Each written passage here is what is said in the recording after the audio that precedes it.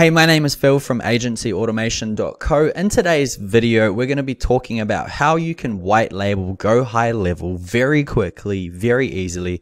So you have your own white labeled brand where you can resell the Go High Level SaaS services. Now, if it's your first time on this channel, make sure you hit that subscribe button. And if you haven't yet, make sure you smash like if you get value from this video.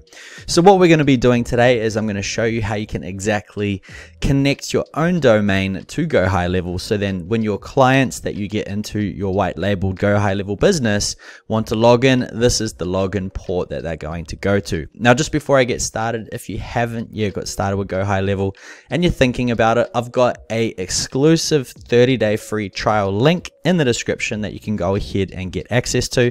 Plus, I also give you a bonus course that's going to have four parts to it, which is going to teach you how to get more traffic into your business, how to get set up really quickly, how to make great funnels, and also how to make money as an affiliate. So go ahead once again, check that out, and you'll get those bonuses.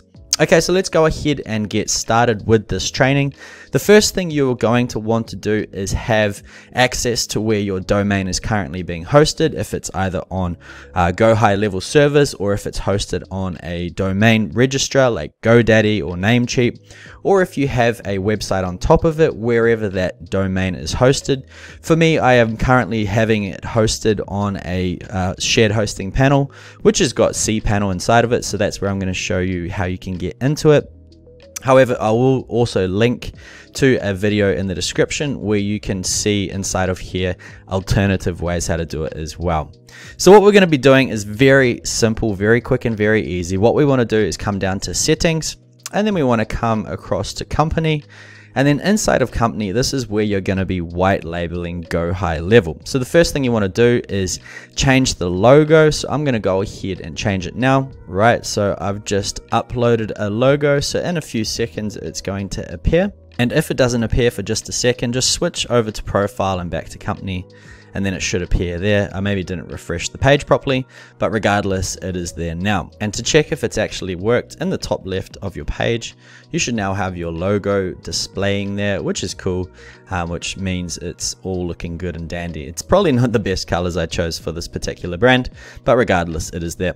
So when we come down, what you want to do is fill out your company website like so, so people know exactly what your website is. But then for the white label domain, just before that, this is where we're going to add in our subdomain so that our users can log directly into the platform, which is going to be white labeled with our brand. So what you want to do is type in, um, the most common is app or login or members or things like that, but I like app and then put your domain. So I'm not putting www again, I'm just replacing it with app and then that is pretty much good to go. What you need to do now though is come and click on this little button here, which is going to open this new page, giving you instructions. And what we need to do is copy this little uh, this little website URL here, app.messengersender.com messagesender.com, I believe it might be. This is the Go High Level white label sort of platform. So what we need to do now is log into our domain registrar or our hosting platform. We need to come onto um, the platform and look for zone editor or DNS. And this is going to be where you can add in different uh, elements to your website.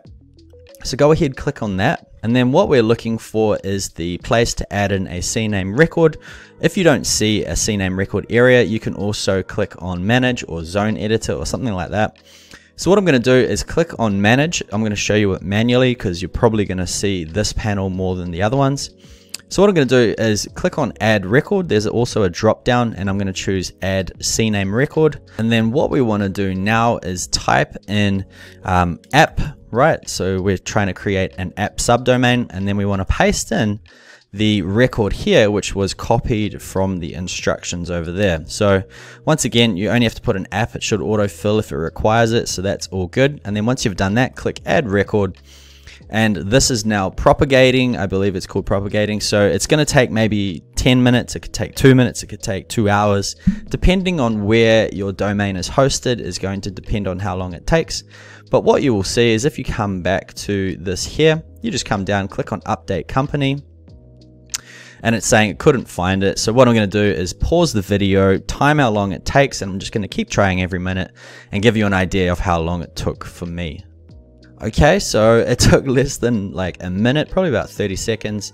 And if I go to my web address now, we see we can log into our account and you can tell this is a Go High Level account because of this little logo here. And this will change as well in a little bit, but just for now in the login page, that's what it looks like. Now the last step we need to do is at the moment if you hover over the terms and conditions down the bottom it's going to you can see in the bottom left the go high level website what we want to do is actually add in our own privacy policy or terms and conditions page and it's really simple to do so what I'm going to do is come back to our dashboard and it says a privacy policy URL but it links to terms and conditions so if you have a terms and conditions page I probably recommend linking it to that instead so I'm going to put in here intactmedia.co.nz forward slash terms and conditions, right? Go ahead, click on update company once again.